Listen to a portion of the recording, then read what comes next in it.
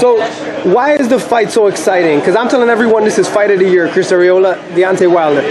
Because we'll make it exciting. I'm straight don't give a F about anything, so I'm coming in here to win. I have nothing to lose and everything to gain, man.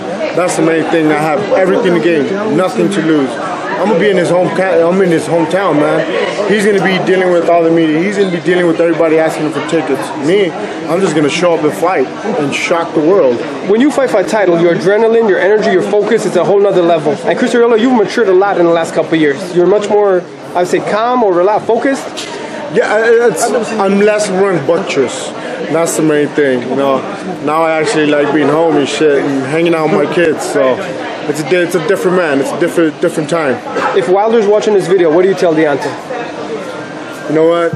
I'm ready for a fight. That's the main thing. Please take your seats. We're gonna get started. He's 35 knockouts and 36 fights. How do you beat someone like that? I got hands, man.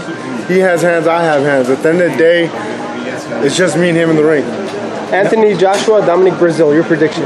Great fight. That's the main thing. I'm expecting a great fight. Fury Klitschko. I'm taking Fury. Why? Uh, what he did last time, and I don't think I don't think uh, I don't think uh, um, Klitschko knows how to deal with the guy that's bigger than him. If you do win and you become the first Mexican When? heavyweight, when you win, you become the first Mexican heavyweight in history. What does that mean to you and to Mexico? You know, the main thing is history. That's it. I'm gonna be remembered. Chris, now or never. I heard you say that already. Absolutely. This is Thinking this might be your last shot. Absolutely, man. You know, title shots don't come out that often.